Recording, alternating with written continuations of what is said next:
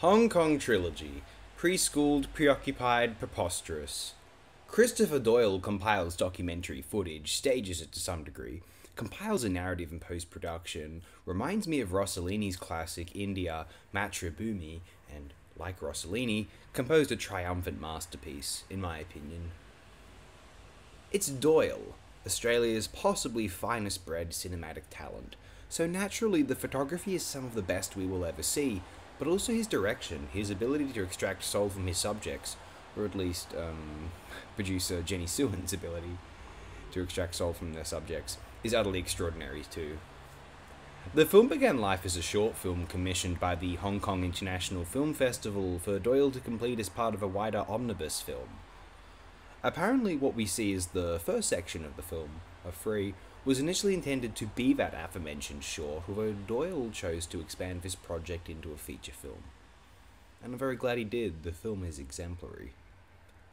The interviews were conducted by one of the film's credited producers, uh, one Jenny Suen, who helped facilitate the production further as Doyle requested it be expanded into a feature film.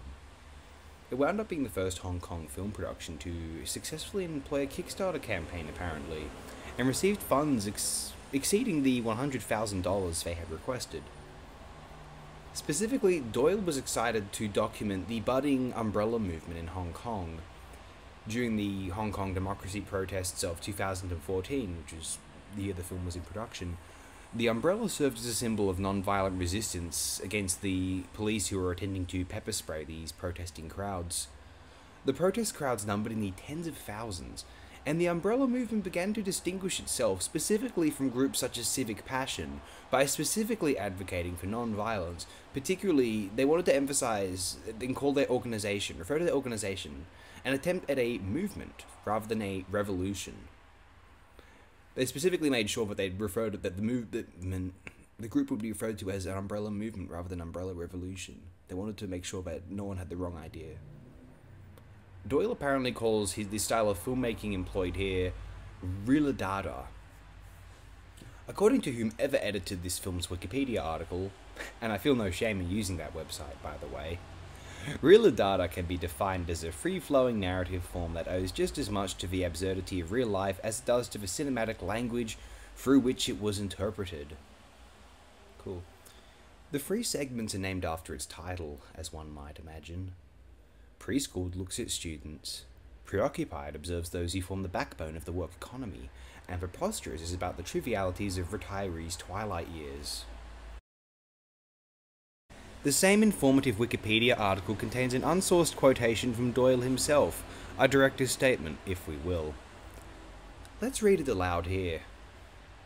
The way this film evolved demanded a lot more give and take, much more deliberation, more intuitive fine tuning than a more narrative driven work. We wanted to give back to Hong Kong at least a fraction of what it has given us.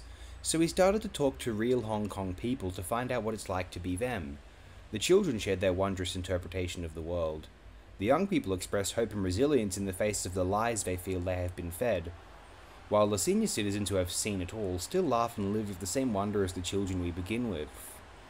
The voices of these three generations are the film's dynamic. Their wisdom is unintended, their voices are rarely heard, and their ironies go disregarded. They are the subject and the real authors of this film. As the press and the kids encouraged us as we shot on location, at least one had written in a caption of a photo they uploaded to Facebook of us shooting at the Umbrella Movement campsite. Please help us film our hopes and dreams. What else can a film be all about? Fun. I think the international community hasn't been great on recognizing the Hong Kong strive for freedom and independence. Sometimes I feel as though the cosmopolitan actors of the political discourse have a tendency to base their care on issues depending on who is supporting it. Because there is such a stupid knee jerk reaction to China about anything, warranted or otherwise, any critique of China can be interpreted as this bullshit, oh, oh, silly right wingers, let's not care about a certain issue because it triggers the right. When one doesn't have to be right wing, believe me, those people want nothing to do with me. The political right would press a button and kill people like me if they could. I have no love for them. You know, no one has to be one of those lunatics to support the valid causes within Hong Kong. Not to claim they're all saints, some of it is weird, anarchic, and even racist, apparently. in the Hong Kong uh, freedom movement.